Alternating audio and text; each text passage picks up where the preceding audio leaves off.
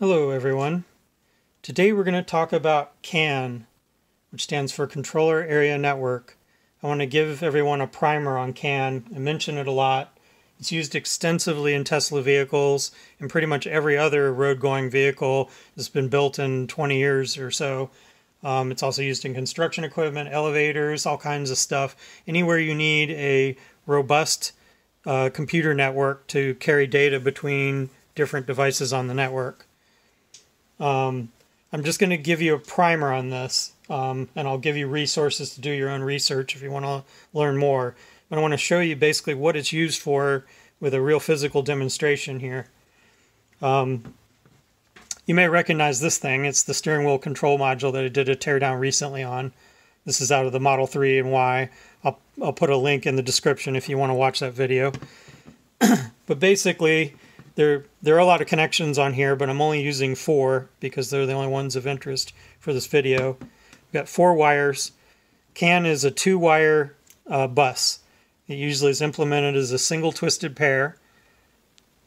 And the twisted pair, uh, I can I can touch on why that is. Basically to uh, prevent the CAN bus from interfering with other things and receiving interference. The twisting negates any interference, any magnetic interference that would be cutting lines across the wiring, basically.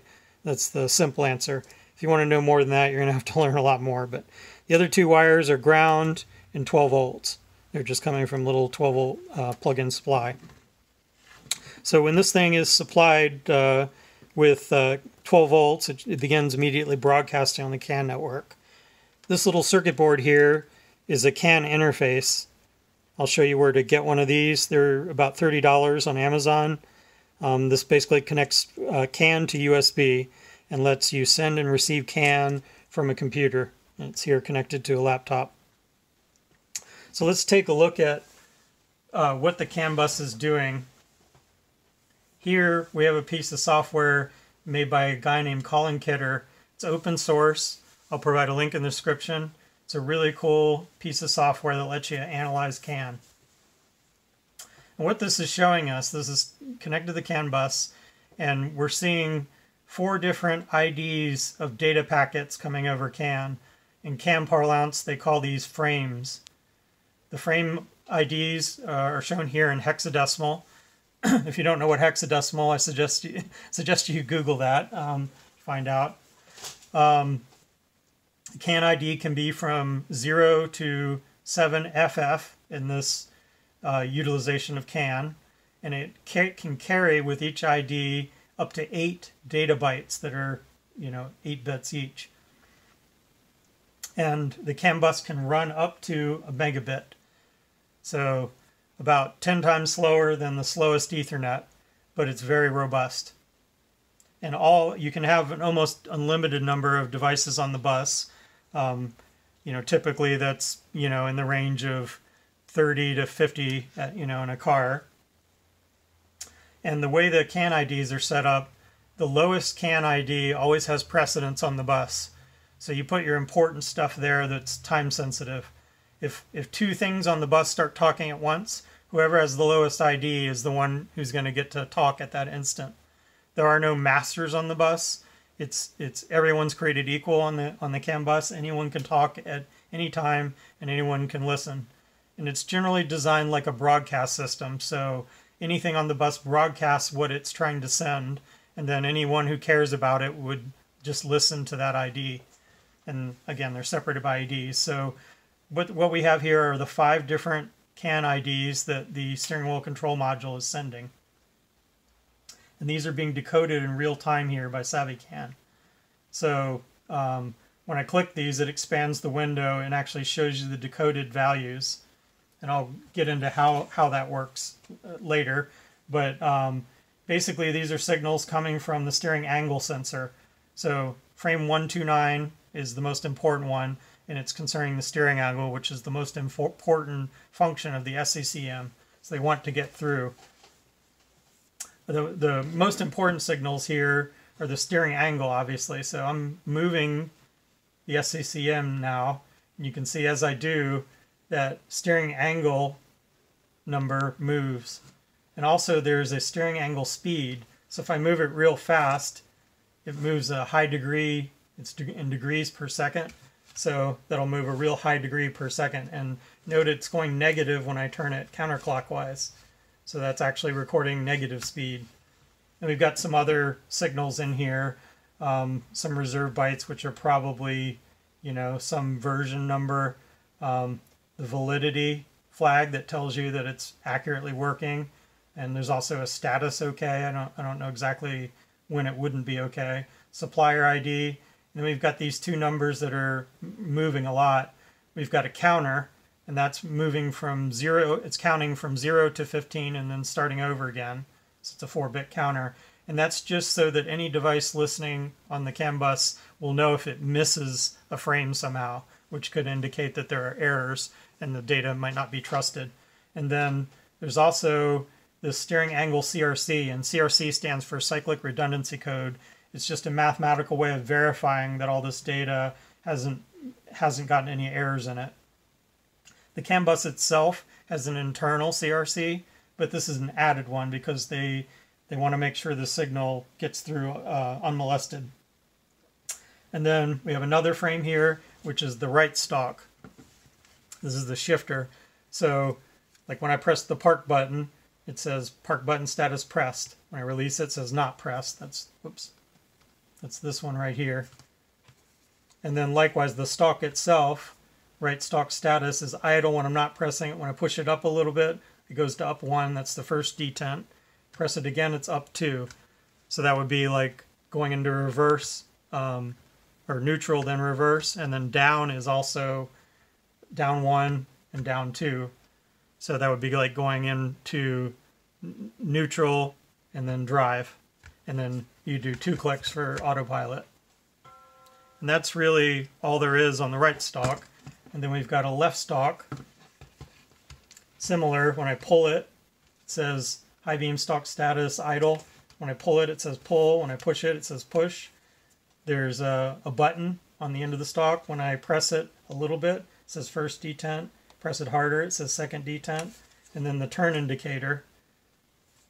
I press it down and then press it down hard, press it up, press it up hard.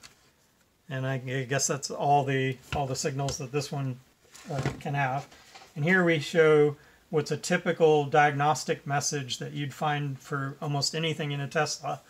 And this is the alert matrix. And this lists a, a number of alerts which go from, from 1 to 29 are faults that this thing can have.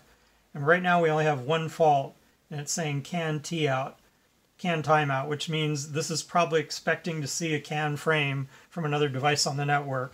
And since it's not seeing it, um, it it's setting CAN timeout, or it's expecting to see some of these messages acknowledged, and they're not being acknowledged. I don't know which, but uh, one of those two, it's related to the CAN bus. But nothing else is faulted here, but you can see the diagnostics are extremely sophisticated. Um, anything that goes wrong in, in this thing will set a fault. And then that fault shows up as an alert in the diagnostic system and gets sent to Tesla.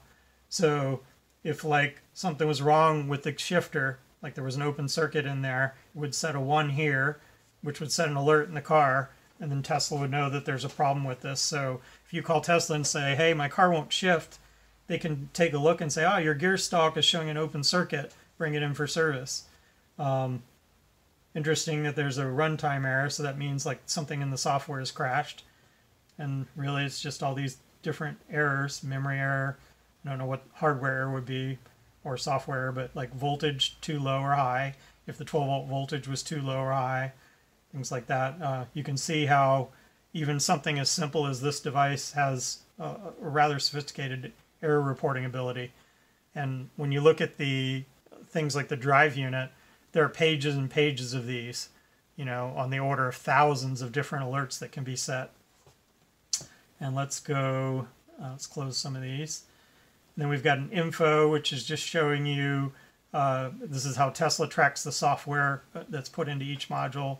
It's all the different things about the unit, what its hardware ID is, what its component ID is, the uh, CRC of the software, things like that. And then uh, we've got an alert log. The alert log is used in conjunction with the alert matrix when an alert does get set, um, it can tell you additional information which, which caused the error. So, um, like if we look at um, the alert matrix, we've got a 2 set right now. So let's see if, it's, if it, eh, it doesn't show you what 2 is. I guess uh, like it, sometimes it, it, could show you the cause of the alert. So um, let's see if any of these are kind of obvious. Yeah, they're just ADC values of internal stuff.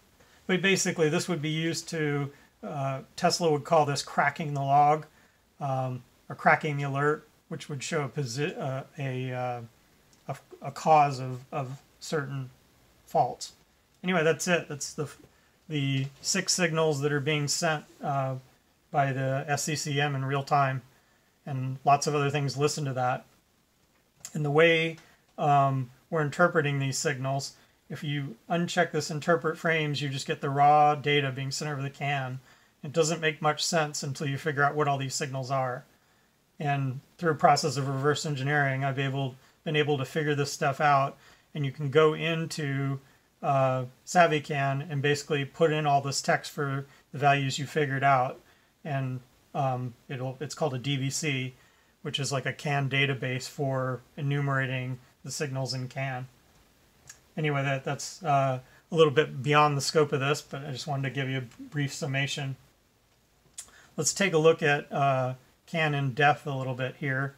Um, here's the Wikipedia article, which is usually a pretty good primer. They talk about what it is, um, its history. It was invented by, by Bosch in 83. It was officially released in 86 by SAE, Society of Automotive Engineers. And there's things talking about extensions that have been made. Um, you know, we're dealing with, the, yeah, I incorrectly told you 12 bit, it's actually 11 bits. Um, that's the original CAN, and this is what Tesla uses. Some other vehicles use the extended format with 29 bit identifiers, which greatly increases the number of CAN IDs you can use. Um, there's also uh, flexible data rate CAN and fault tolerant CAN and some other variations. But this lists some of the applications you might find using CAN agricultural equipment, uh, aviation, industrial automation, elevators, building automation, medical instruments, uh, model railways, ships, lighting control systems. And they talk about uh, some of the things that it's used for in automotive how it's organized physically. This is what I want to talk about a little bit. Let's look at this. This is the signaling. I told you it was two wires. So the two wires in the CAN bus are called CAN high and CAN low. And the way it works, it's a differential signal, which means each wire is a mirror image of the other one signal-wise. And that cancels out any interference that would be caused by the wiring. So when CAN high is pulled up, CAN low is pulled down by the same amount. So, and that represents, when that occurs, that represents a zero. Whereas when they're at rest, you know, which is uh, at 2.5 volts or middle voltage, that's considered a one. And that's how it sends the zeros and ones. They call it a dominant voltage when it's when each each end is pulled up and down, or recessive voltage when it's when it's not. Electrically, CAN bus is set up this way. So each each device on the CAN bus is enumerated by this box and they just connect across the bus just like phones would be connected to a phone line because this is a rather high speed bus um, they have termination and what termination is is in, in the in the CAN bus is a 120 ohm resistor and if you didn't have this what would happen is as the electrical signals travel down the bus and hit the end of the wire they would reflect back because there's nothing to eat the signal. So the 120 ohm resistor simulates basically an infinite transmission line. So any signals sent down the line just are eaten by the resistor and turned into heat. But it would look the same to the CAN bus as if these wires were infinitely long. You don't want a reflection because the reflection will arrive later after the recessive or dominant signal and could distort that signal. It's usually not a problem for a short piece of wire, but if you had 30 feet of wire and you didn't terminate it, the reflection off that could be damaging enough to prevent the devices on the CAN bus from accurately decoding the signals. So each side is 120 ohms. And earlier I was showing you my connections here. You know, I've got the connection coming out of the CAN dongle, and then there's a 120 ohm resistor because there isn't one here, but I have to terminate it. I couldn't terminate it inside here, so I did it as close as possible. And then this has a selectable termination on it. You can put this jumper on to terminate. So that's one end, and this is the other end. It's not exactly a perfect termination. In a perfect world, this would be moved as close as possible to the end of the bus. But like I said, if the wire's short, the reflection is very minimal. So in, in practice, it doesn't hurt anything. In reality, I could probably remove this resistor entirely as long as one end's terminated. Usually for a two-node bus, it'll work. But it, the best thing you can do when working with CAN is always try to terminate properly if you can. So yeah, this little interface is one of the better ones. It's uh, it's got a galvanic isolator in it, which just means that across this barrier there's no electrical connection. So um, if you were to hook this to high voltage relative to your laptop, like when you're working on a high voltage battery, it won't fry the laptop. So very valuable feature having it isolated. Most are not. So let's take a look over here. Here's the Amazon uh, link to where you can get this, and I'll provide the link in, in the description. Shows a close-up. The only It didn't come with a case, so I put this uh, uh, clear heat shrink over it so it wouldn't short out on the bench or you know when you're messing with wires. It's the only disadvantage for for it. But for thirty one dollars, um, it's hard to argue with that. Um, you know, uh, it's worth a piece of heat shrink uh, to not pay. You know, sometimes the hundreds of dollars that the professional equipment costs. Anyway, uh, uh CAN is often implemented like here's an example of an automotive, a small automotive microcontroller. This is a small little 8-bit microcontroller. They're really cheap. This is an automotive qualified microcontroller. And inside the microcontroller, it has built-in CAN hardware. Also has LIN, which we'll talk about in a future video. But that means this can directly connect through through a minor amount of electronics to the CAN bus, and the microcontroller has all the stuff in the hardware to directly send and receive CAN without requiring a lot of complex stuff like the automatic error flagging and retransmits and all that stuff. And this would be something typical that you might find inside something like the steering wheel control module um, or seat control or whatever, just a, something that doesn't need a lot of power. And then, of course, we go up to like the 32-bit microcontrollers like the SPC5 that um, Tesla uses in a lot of applications. Those sometimes include, you know, like up to six CAN buses in one microcontroller. So they can, you know, gateway across different CAN buses and have backup CAN buses and all kinds of stuff like that. But this little guy is, is cheap and simple. It's based on the original Intel 8051 instruction set. Um, I guess that's it for a good CAN summary. Trying to keep the video a little shorter this time. You know, we're, we'll have it under 20 minutes.